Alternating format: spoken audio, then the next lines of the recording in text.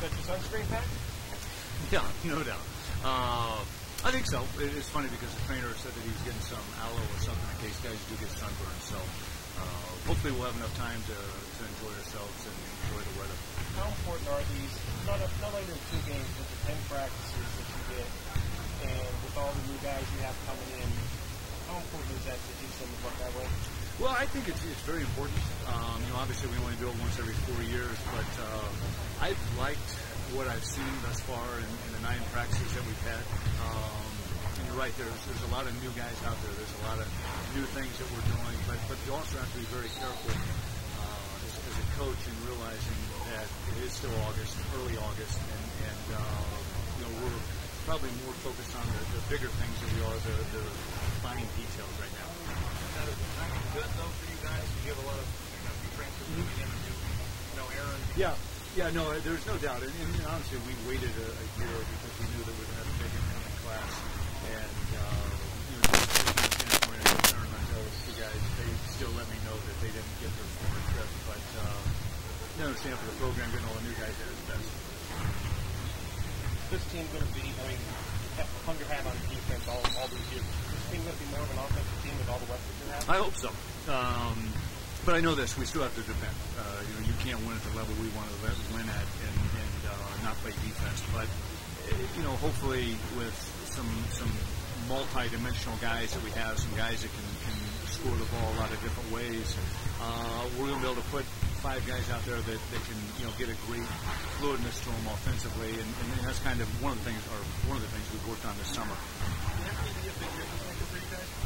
You know, I think so. I, I think, um, you know, for, for one thing, he's got a lot of experience, and, and uh, you know, he's still trying to learn his way a little bit. He overthinks things at times, but um, you know, he's been he's been in big games. He's been in NCAA tournament games. Uh, he he understands what it takes.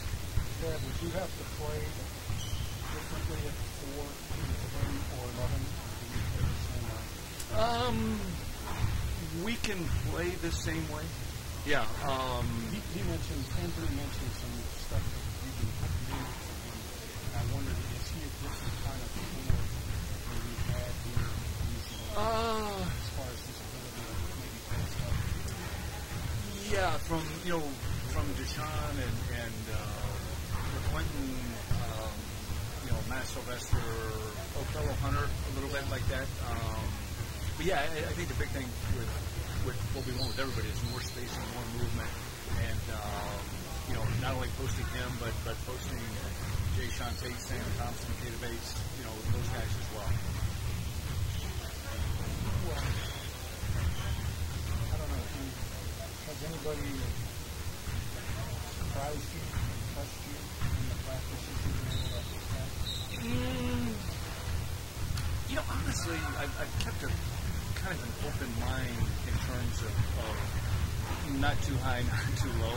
Um, but I've, I've been very pleased, honestly, with everybody. You know, Jae'Sean just started practicing a day ago. He's had two of the last part of two of the last three practices in, and he looked really, really good Saturday. Yeah, but not fully. We're kind of day on, day off, day on, day off, just being as precautionary as we can. Can you play in the ball? I think so.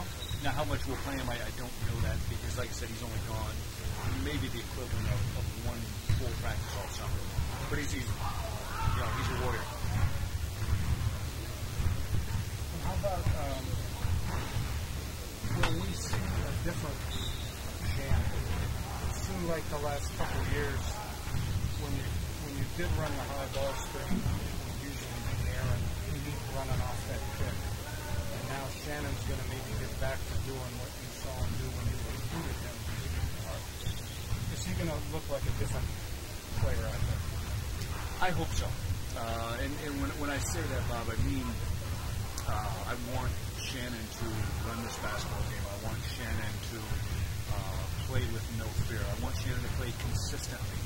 Um, you know, the, the ups, the downs that, that he's had in his career, hopefully those things are behind him. Uh, you know, one of the things that he's done very well, and I know he's worked very hard in the season, is he shot the ball well. But he was doing that last year early in the season, and I think that's the, the biggest thing that I've been on him about this summer is, is hey, this is it. This is your last shot you know everything has to be important to you. And, and he's, he's been tremendous for us out there this summer.